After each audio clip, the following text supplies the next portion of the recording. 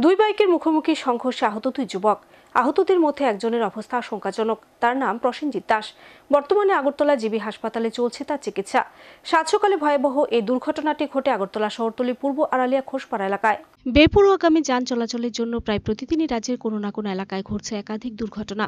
কিছুতেই যেন দুর্ঘটনা লাগাম টানতে পারছে না প্রশাসন কিংবা সংশ্লিষ্ট দপ্তর। রাজ্যে সবচেয়ে বেশি ঘটছে বাইক দুর্ঘটনা। দ্রুতগতিতে বাইক চালানোর ফলে একদিকে যেমন সাধারণ মানুষ হতাহতের শিকার হচ্ছেন, ঠিক তেমনি আবার মৃত্যুর কোলে ঢলে পড়ছেন একাংশ বাইক চালকও।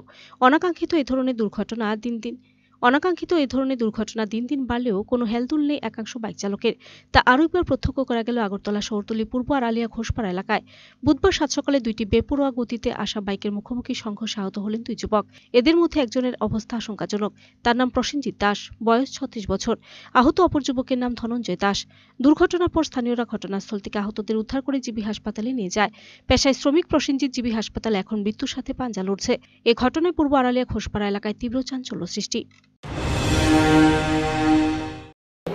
মা কাজ করছে আমরা বেশি রেখার কামে আর মারে আরেকজন ডাক্তার তো তাড়াতাড়ি বাইতে বাইতে হয়েছে খুশি করে তো আমরাও সঙ্গে হয়েছে আমরা দূরে আয়া তো বেরিয়ে না পিট মিট হইয়া ফিরে একটা আয়া কি দেখছেন আয়া কিছু দেখছে না গাড়ি তো এদিক ডাল হয়ে গেছে গা বেরিয়ে চিল্লাইছে করতো চিল্লাইছে করে মাথার বল টল দিয়া তারপরে আমরা তুলে আই করছি কেমনে হইছে শুনতে পাচ্ছেন নেই accident? এটা হচ্ছে ওয়াটার অফিসের সামনে বাইকে মুখা মুখি গিয়া ওনার accident